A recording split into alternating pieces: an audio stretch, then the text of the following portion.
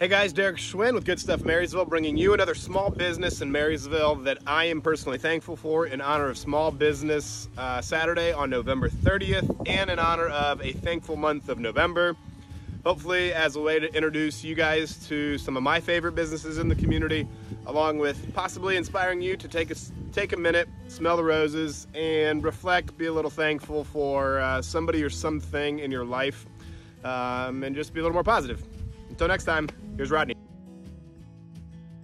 My name is Rodney Berry. I am the owner of Berry Carpentry and Construction. We do all types of residential projects.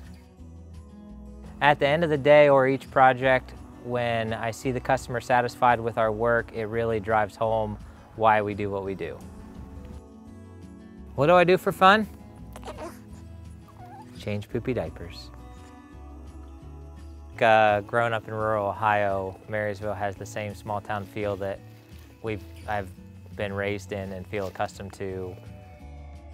Yes, we live in Marysville, and when we were looking to buy a house, we specifically chose Marysville for the community aspects that they offer. I am thankful for our family and our new addition to our family.